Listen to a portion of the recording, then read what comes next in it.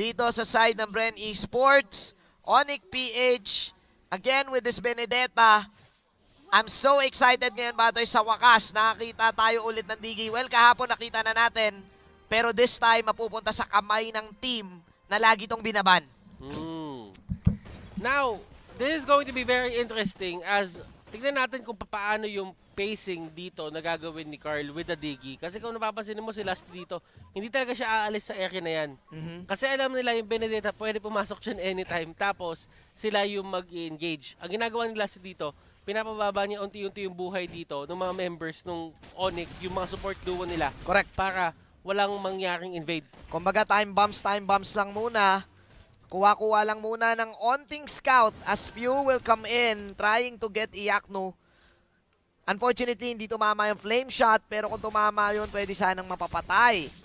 Meanwhile, Butters, gusto ko lang balikan dito, reminiscing the Kaje, the championship Kaja ni Jay. Gaano kaya magiging ah, ka-important itong Kaja niya?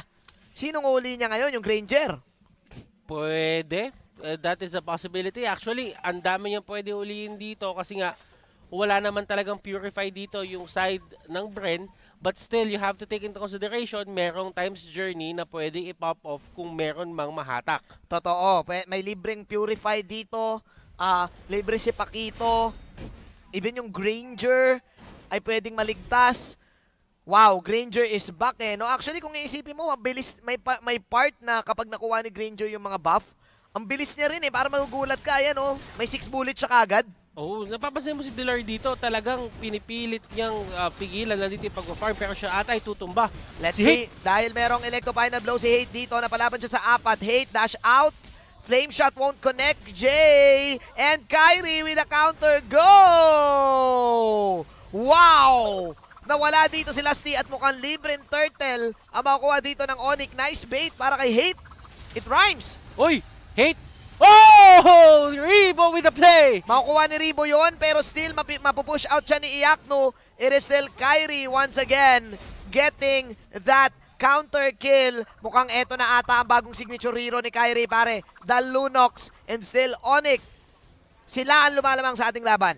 Onyx PH dito getting the turtle pero hindi rin magtatagal yun sa kamay ni Hate kasi nga ma-retake down siya dito ni Rebo pero still the fact remains hindi siya nakuha ng Bren at hindi sila makakapag-force ng early match uh, early skirmishes. At saka parang hindi effective ngayon yung Digi na tank build na nasa gitna kaya Kuya Butters eh parang para sa akin mas effective siya sa side lane eh. Kasi parang hindi rin nila nagamit dito yung mga pabomba.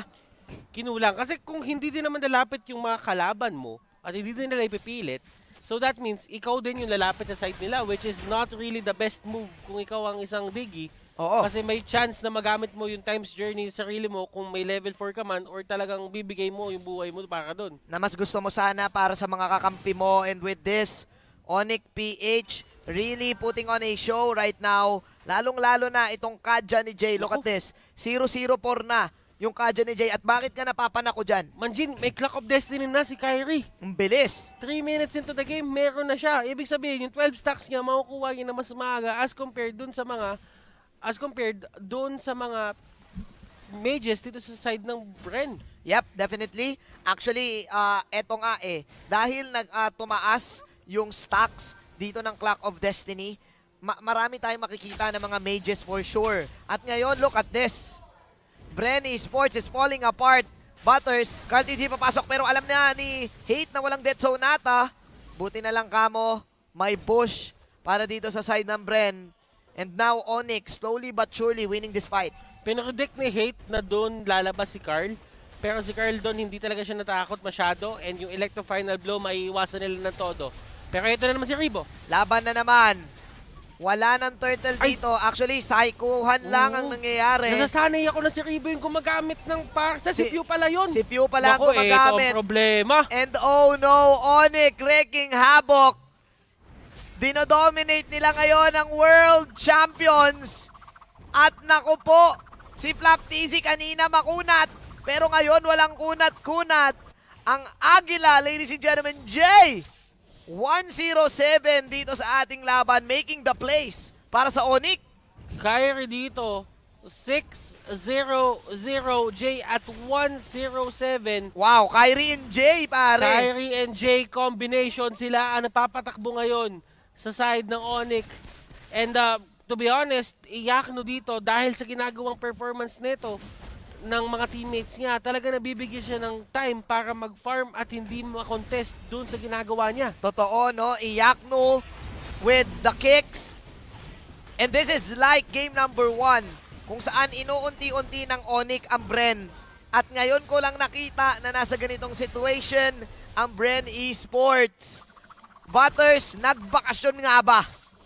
Yun ang tanong. I don't think na pwede natin idikit to sa bakasyon eh. Kasi Manjin, malakas din ang Onyx PH talaga. Oo nga. So ibig sabihin, talagang lalaban at lalaban sila dito. Ang hindi lang natin in-expect na madodominate nila ng ganito, ganito, ng ganitong ganito yung Bren. Ang tanong ko pala doon, Butters, ay nasobrahan ba sa bakasyon ang Bren Esports? Mm, hindi ko masabi yan, Kuya Manjin. Pero alam mo yon sinasabi nga natin na this often happens Mhm. sa mga ibang champions. So ibig sabihin, it could be a possibility or it could be na Onyx PH has the better draft lang. At mukhang totoo talaga dahil nga kung iisipin mo Butters yung Digi, may part kasi na kapag hindi siya naging effective sa original Digi strat is na nawawalan siya ng saysay. Taga purify na lang siya sa pagdating sa late game. So hindi naabot ng Bren Esports dito yung spike na gusto nila to the point na na-dominate na sila ng Onyx. Mhm, And Flap dito, with the current score line of 0-5-0, yung ganda ng performance in game number 2, hindi nagpapakita ngayon. Talagang hindi as Lasty will also fall down. Onyx, PH, may hila pa mula dito kay Kajay. Ang tagal nating hindi nakita yon. And they did not expect this Bren Esports. What is happening to them? Looking at Onyx right now, they're really just commanding yung mapa natin ngayon. Yes, definitely as Jay will come in also.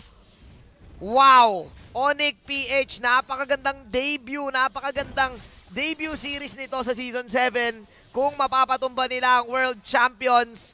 And nako, nai-imagine ko na lang si Natori, nai-imagine ko na lang buong squad na nag-cheer right now. Hate, Jay, Dlar, Iyakno, pati si Kyrie. Men, kahit sino sa kanila pwede mag-initiate. May limits din talaga kasi ang isang Granger and looking at it, few dito using that ultimate, Napagamit sila dito. Actually, medyo maasim para kay Jay dito. Pero napagandang wings by wings para kay Few. And again, Butters, yung mga laban na to, ito yung mga laban na poke-poke lang eh. Wala talagang teamfight na nangyayari. Puro pitas. Mhm. Pero kasi, yung nagiging factor man din dito, yung poke kasi ng Onyx, hindi nagbibiro. Meron silang Divine Judgment na kapag ka nalapitan ka, walang sasalba dito sa'yo from the side of ano eh, from Bren. Kahit sabihin mo dito na yung Divine Judgment, map, times journey, hindi din naman nakakancel yun basta-basta kailangan bago makast. Bago makas talaga. And pare, you know what? Nandahil dun sa comeback nung game number 2, I think nagkaroon ng confidence ngayon ng Onyx makapasok. Sobrang confidence naman to. Oo, makapasok dito sa game 3. Kasi nga, ano yun eh, pang, pang moral boost yun eh. Yung nangyaring comeback na yun. And yung Onyx, sila yung type ng team na they ride momentum. At kung alam nila na lamang sila, they will definitely punish you. Again, the future ang bansag dito kay na Kyrie and mukhang pinapakita nila na karapat dapat sila sa ganong bags- Mhm. bansag. So pwede pala natin tawagin itong laban na to the future versus the present. Pwede. the future versus the present and right now Rebo dito tandaan natin na ganito din yung naging pwesto ng Onyx kanina talagang dominate ng Bren yung game number 2 at dahil sa isang alis ay nagbago yung laro. Ngayon si Rebo 0-0-1. Wala pang deaths dito si Rebo, nakukuha niya pa yung mga farm na gusto niya, yung stacks na gusto niya. And nakita na natin ang Brent sa ganitong situation pero may hila. Few right now. 3-4 ang kanyang score. Si Jay yun ang kanyang main target. Wow, isa-isa lang sabi ng Onyx. Hindi kailangan ng 5 on 5 na sabayan. Ang kailangan lang Divine Judgment pitas. Mhm. Dilar, Kyrie, Jay, nandito sa may mid. Sama mo na rin si Hate. Mhm. And uh, wow, they're just going for the turrets. Wala pa talaga silang pinapansin dito sa side ng Bren. Alam nila na kulang yung Bren dito pero Digi yung magiging target man, Jin. Wow, go Onyx talaga. Onyx PH. Slowly but surely. Paano mo nga ba talaga masosolve ang problema? Isa-isa lang. Pa mala DJ Khaled ang pagpitas nila dito. Another one. Another one. And 16-3 pare, 10k gold lead. Sabi ng Onyx dito, masyado nyo naman kami binata nung game number 1. Babatain namin kayo ngayon sa game number 3. Kung so, kumbaga, nagbibinata, ah, binata, nagbibinata, binata na. Binata na sila ngayon, binata na pare. sila ngayon, binata Oo. na lang. Pero alam mo, Manjin, yung Onyx dito, yung play na pinapakita nila, ang galing nila magmando ng mga brush. Definitely. Kanina pa, actually si Jay at saka itong si Yakno, laging may nahuhuli. Mhm. Kung napapansin mo, Manjin, ang pinaka-target nila dito si Few. Mhm. Kasi alam nila, if ever si Few ang mahuhuli nila sa Divine Judgment, that is one person na hindi na makapag-deal ng damage as much as possible, which is, siya nga ata yung pinaka-high impact damage na meron sila ngayon in terms of uh, the damage output ng Bren. Totoo, at lagi natin nakikita yon. Kanina pa natin nakikita na si Pew ang main target. Apat ang naambag ni Pew sa death count ng team. And Onyx, nag-freeze lane na sila Butters. They're waiting for the Lord. And gaano nga ba kalakas itong lineup ng Onyx para hindi natin in-expect yung Kaja ulit. Mhm. Ngayon, eto ah, Manjin, yung poke composition kasi ito yung pinaka-importante. Tatandaan natin, special dati to eh. Special combination dati tong ano eh, ginagawa ng Onyx. Mhm. Yung Lunox, pati yung Kaja. Aha. Kapag kami nahatak ng Divine Judgment, automatic na lulusaw na yun. Because of the Chaos Bolts. And because of the uh, hold Mhm. na meron ng Onyx PH. At si Dilar dito, si Iyakno, hahanap na sila ng mga pickups na gusto nila. Pero si Iyakno nga dito, actually, hindi na nga sumasama sa fight eh. Wala nang Ang pakialam ginagawa ngayon. na lang dito, nag-split na lang. Yap, and alam ni Iyakno na kayang-kaya niya nang pumatay mag-isa. Wow! Is this the first loss na nahaharapin ng Bren Esports? First defeat. Usually nakikita natin ng Bren ang Series 1 nila na nanalo. Napapansin mo dito, Manjin, Mhm. na ang ginagawa ng Onyx dito, na sabi mo na to kanina, nag-freeze lane sila. What is the idea behind freeze lane talaga? Mhm. And uh, wow, they're just going for the turrets. Wala pa talaga silang pinapansin dito sa side ng Bren. Alam nila na kulang yung Bren dito, pero Digi yung magiging target, Manjin. Wow! Go! Onyx talaga! Onyx PH! Slowly but surely. Paano mo nga ba talaga masosolve ang problema? Isa-isa lang. Pa mala DJ Khaled ang pagpitas nila dito. Another one. Another one. And 16-3 pare 10k gold lead. Sabi ng Onyx dito, masyado nyo naman kami binata nung game number 1. Babatain namin kayo ngayon sa game number 3. Kung so, kumbaga, Actually, may bumabodyguard na nga na si Dlar dito to the point na asa na lang ang Bren sa comeback. Mind you, Butters, wala pang napupush ang Bren. Ni yung isang tore, hindi nahawakan. mhm. Hindi nahawakan. Full health lahat ng outer turrets ng Onyx. Kung napapansin mo dito, Manjin, naka-freeze lane pa rin sila. Pero ang ginagawa talaga nila dito, ini-stack up na nila yung mga waves. Tignan mo si Iyakno dun sa may baba.